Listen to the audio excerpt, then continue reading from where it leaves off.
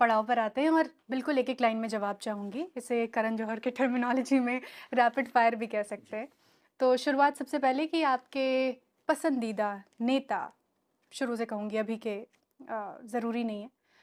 Male and female both.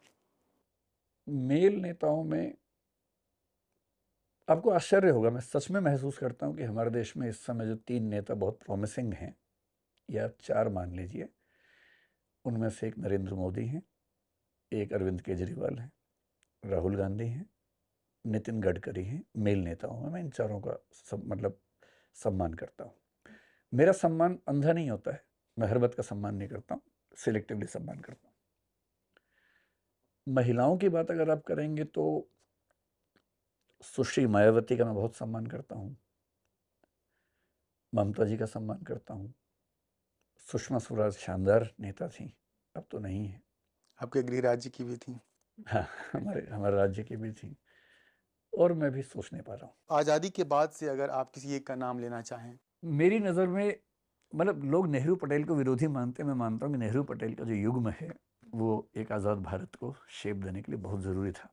इनमें तुलना नहीं कर पाऊँगा लेकिन ये दोनों मुझे बड़े अच्छे लगते हैं। नरेंद्र मोदी की एक अच्छी बात, एक जो अच्छी बात ना लगती हो, साथ ही राहुल गांधी की भी। नरेंद्र मोदी की सबसे अच्छी बात ये लगती है कि वो टेक्नोलॉजी को लेकर, ऑन्टरप्रिनरशिप को लेकर, व्यवसाय की दुनिया, नए लोगों को उभरने का मौका देने के मामले में, खुद तकनीक के बारे में जानकारी रखने में, काम को लेकर एल्कोहलिक होने में, इन सब चीज़ों में शानदार नेता हैं।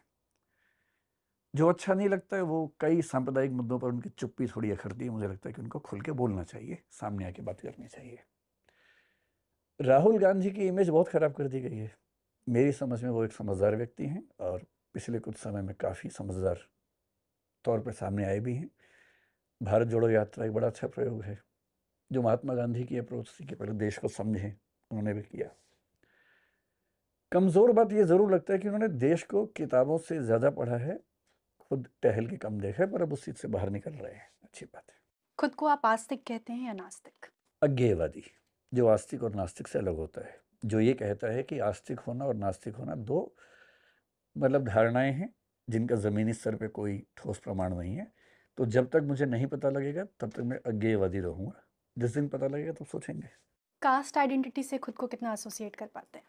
Almost zero. मेरा सरनेम बताता है कि मैं किसी कास्ट का हूँ ही नहीं।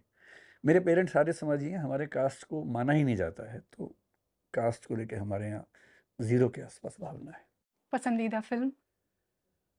पसंदीदा फ़िल्म मैं कहूँगा कि एक जॉनर में थ्री इडियट्स, दूसरे जॉनर में गुलाल, तीसरे में लंच बॉक्स।